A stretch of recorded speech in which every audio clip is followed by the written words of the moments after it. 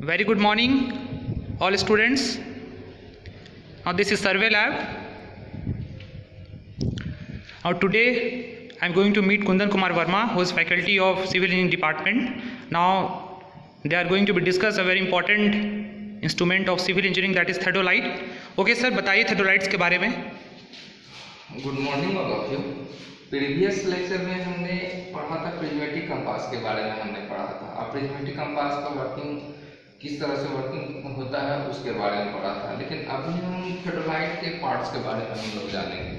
ठीक है ना? कि थेडोलाइट के, इसमें टोटल कितने पार्ट्स हैं? और टोटल पार्ट्स का एक स्पेसिफिक स्पेसिफाइड वर्ड होता है। तो उस वर्ड के बारे में हम इस लेक्चर में हम नहीं डिस्कस करेंगे, केवल हम इसके पार्ट्स के बारे में जानेंगे। तो सबसे पहले हम लोग नीचे वाले पोर्शन में आते हैं तो इसको बोला जाता है है लेवलिंग हेड में ट्राइवेट होता है और ट्राइवर्क होता है। इसके बीच में क्या होता है कि लेवलिंग स्क्रू होता है है ना? इसे ही क्या बोलते हैं हम लोग? लेवलिंग स्क्रू बोलते हैं। अब इससे ऊपर आते हैं तो इससे ऊपर आते हैं तो ये क्या होता है कि लोअर सर्कुलर प्लेट होता है और अपर सर्कुलर प्लेट होता है।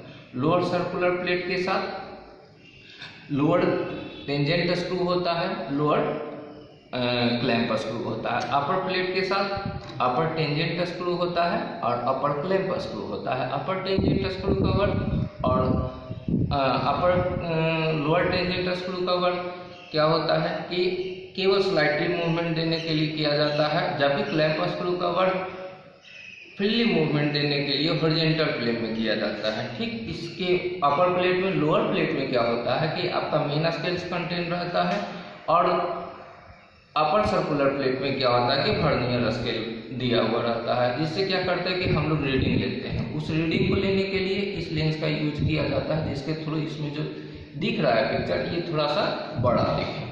अब इसके बाद हम इसको क्या बोलते हैं इंडेक्स फ्रेम बोलते हैं, या फिर टी फ्रेम भी हम इसको बोल सकते हैं। इसके साथ ही क्या इंक्लूड रहता है? वर्टिकल सर्किल इंक्लूड रहता है। इस वर्टिकल सर्किल में क्या होता है कि वर्टिकल क्लैंप स्क्रू होता है वर्टिकल टेंजेंट स्क्रू होता है। Vertical clamp screw vertical tangent screw का यूज़ बस इतना है कि इसमें अगर जो फ्रीली मूवमेंट देना हो तो क्लैंप स्क्रू का यूज़ करेंगे स्लाइटली मूवमेंट देना हो टेंजेंट स्क्रू का यूज़ करेंगे। जिसके थ्रू क्या होता है ये जो टेलीस्कोप है, ये रोटेट करता है फ्रीली वर्टिकल डायरेक्शन इसके साथ वर्टिकल सर्किल के ऊपर अल्टीट्यूड बबल भी लगा हुआ होता है। इसका भी यूज़ लेवल करने के लिए किया जाता है। इसको हम लोग डायरेक्टली नहीं देखते हैं। इसको देखने के लिए यहाँ एक मिरर लगा हुआ है, जिसके थ्रू हम लोग इस बबल को देख पाते हैं। इसको बोला जाता है आई पीस बोला जाता है। इसको बोला जाता है ऑब्जेक्ट पीस बोला जाता है।